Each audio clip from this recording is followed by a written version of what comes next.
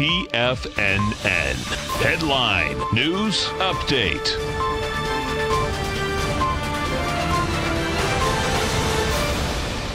Good afternoon, everybody. I'm Tommy O'Brien, coming to you live from TFNN headquarters in St. Petersburg, Florida. 2 p.m. Eastern Time on Monday. Two hours left to go in the trading day, and we got markets flirting with positive territory. S&P's up six points, trading at 28.36. Dow Jones up 38 points, trading at 25,886, and the Nasdaq up 17 points currently, just over 7,700, trading at 77.05.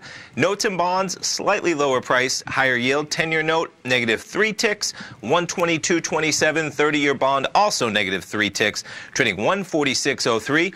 Dollar index flat at 96.050 and gold flat as well, 1302.90.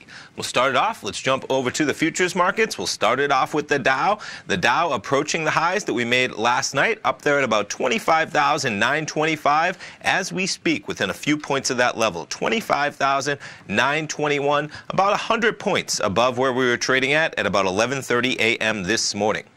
NASDAQ 100, a little bit of a different story. Highs made just at around 11 a.m. Eastern Time, 73.78. You get the NASDAQ 100, about 28 NASDAQ 100 points below that level, trading 73.50. S&P 500 looks a little bit more like the Nasdaq 100. We made highs just before 11 a.m. 28.40 in the S&Ps, currently trading at 28.36. Crude oil trading higher for most of the session, made a high in that similar time of 11 a.m. this morning. 59.53 in the price of May crude, currently trading 59.41 in the price of crude. And gold bouncing around a bit. We were up there at around 13.06 for a little bit this morning, pulling back a bit. Gold trading 13.0275. And as the Brexit deadline looms, British pound trading 132.31.